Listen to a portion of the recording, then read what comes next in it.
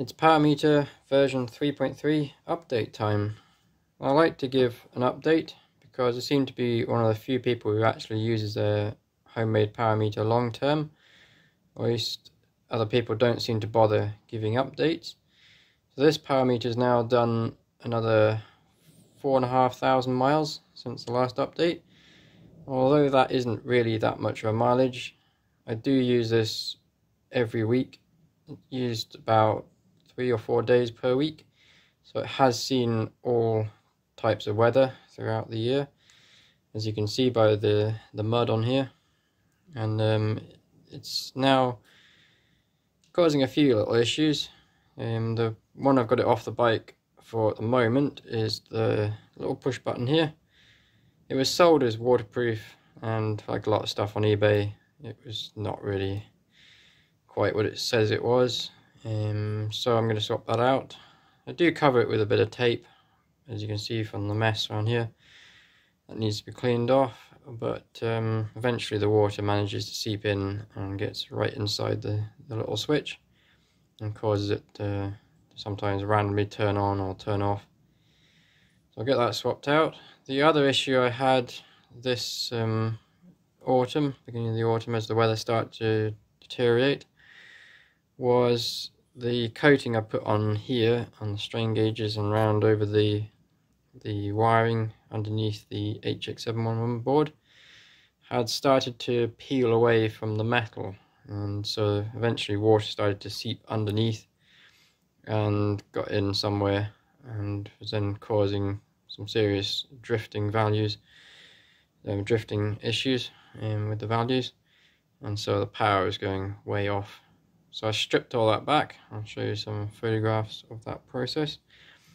I've now covered it with this stuff, which I had actually used already on the HX711 board. It seemed to perform very well, and it's doing quite well on the strain gauges so far. So I've also, as I hadn't tested the accuracy of this Powermeter for over two years, so it was since the end of September 2022. It was the last time I actually checked it against another Powermeter. And here's the data, which I would say is not too bad, considering I've not done anything to the Powermeter for the last couple of years except mess around with the coating on the strain gauges, which I thought may have messed up the um, the calibration a little bit, but it seems like it hasn't actually. You have to remember, obviously, this is just an average of one ride, not like the 100 rides I did before. So it's just a basic representation of how it's performing right now.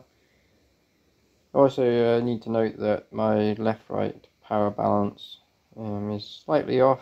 It's about 2 to 4% weaker on my right leg, meaning that the homemade power meter will always under read, and you can see that in the data.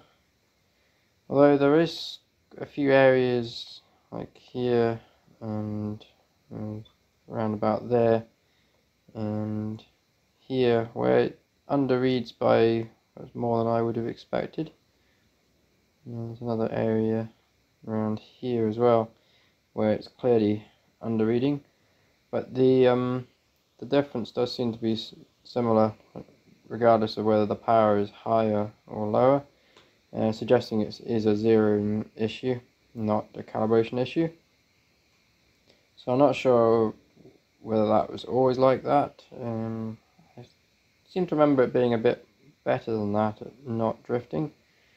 Maybe there's some sort of deterioration of um, the strain gauges or the HX711 board and it's causing that. Maybe it's not quite right, or maybe it's just a thinner coating on the strain gauges. Perhaps it's picking up temperature differences quicker than it used to before. I'm not sure, but in general, I'm pleased with that, considering um, it's been a couple of years and it's showing signs of being at least fairly consistent over time, this Powermeter, which is great.